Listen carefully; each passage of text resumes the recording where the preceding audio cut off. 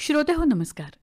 चिंतन या कार्यक्रमात आपण ऐकणार आहात गुरुबोध याविषयी हर्षदा संजय बोरकर यांचे विचार. आज ऐकूया चौथा आणि शेवटचा भाग. गुरु गोविंद दोऊ खडे काके लागू पाय. बलिहारी गुरु अपने गोविंद दियो बताय. गुरुचं शिष्यत्व पत्करलं मनोभावे सेवा केली.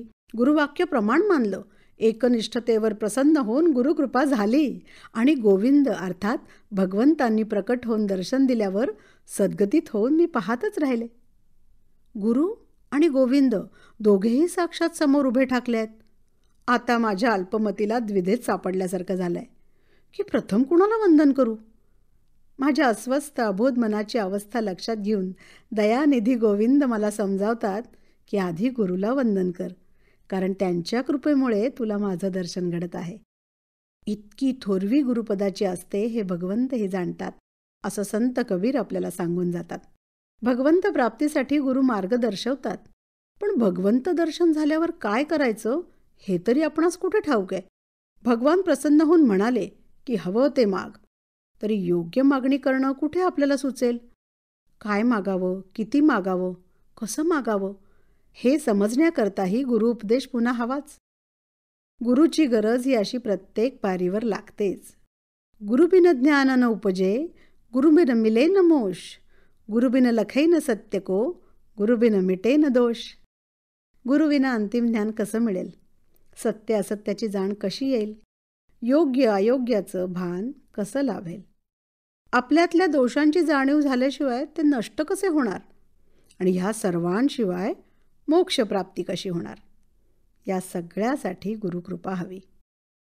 आपण सर्वसामान्य जन मोक्षप्राप्तीसाठी सारख्या अनाकलनीय स्थितीसाठी नाही पण आयुष्य जगण्याचा योग्य मार्ग समजण्यासाठी प्राप्त परिस्थितीला स्वीकारण्याचं मनोबल मिळण्यासाठी उन्नत जीवन जगण्यासाठीचे उपाय मिळण्यासाठी गुरु शोधतो आणि त्यांच्याकडे अपेक्षेनं पाहतो.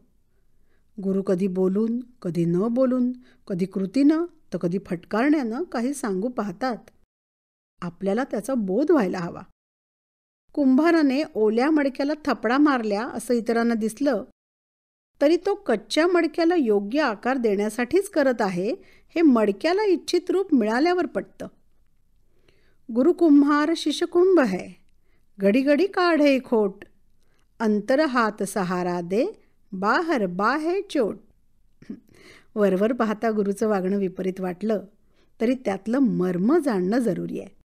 कुंभ घडवताना त्याला बाहेरच्या बाजूने थपडा मारल्या तरी त्याच वेळी दुसरा हात कुंभाच्या आत धरून कुंभालाच सावरलेलंही असतं. कच्ची ओली माती मळताना हाताने जोर करावा लागतो. सगळ्या लहान सहान गुठळ्या शोधून मातीत मिसळाव्या लागतात. पण तेच हात घडा घडवताना मात्र हलके नाजूक राखून हवा तो आकार ओल्या घड्याला देता येतो.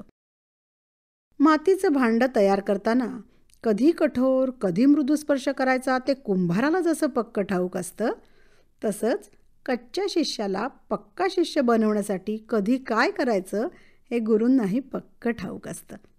हा परिपक्व शिष्य मग अभिमानाने सांगू शकतो की मी कच्च्या गुरुचा चेला नाही. गुरु संप्रदायात एक महत्त्वाचा नियम सांगितला जातो. तो म्हणजे माणसाला कोणी गुरु मिळावा अशी कितीही तळमळ असली तरी ज्याला ज्ञान द्यायचं आहे अशा शिष्याला सद्गुरूच येऊन भेटतात. शिष्याला गुरु शोधत फिरण्याची गरज नाही. कदाचित तो अयोग्य ठिकाणी पोहोचायचा?